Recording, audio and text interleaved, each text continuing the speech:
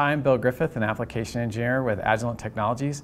Today we're going to take a look at an Excel program using Visual Basic to make a family of curves for an N-channel FET transistor. We'll be using our most popular E3631A power supply. One of the things that makes this power supply so popular is it has multiple outputs. So we'll be using one of the outputs to drive the gate voltage and we'll be using the other output to drive the drain source voltage. Let's go ahead and take a look at our program. So what we have here is we're going to use a, a nested program.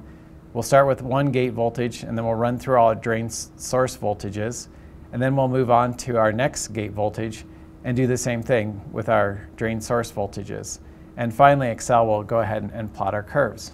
So let's go ahead and run the program.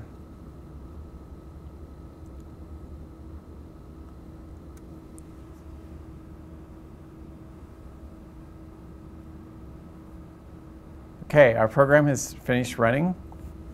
We've completed all the measurements and Excel has gone ahead and planted each of the family of curves on the chart.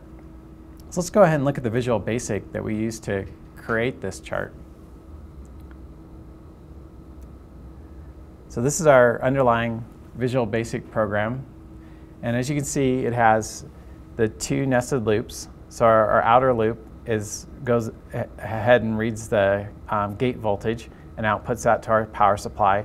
And then our inside loop, it reads from the table the drain source voltages and, and applies it to the other channel, the power supply. We also have some optional commands that I've commented out.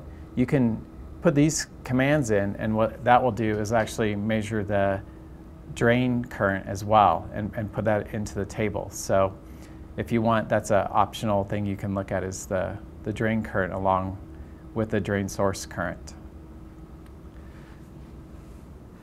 So this is a really simple example program using Visual Basic for Excel to plot some curve traces for an N-channel FET transistor. So thanks for watching.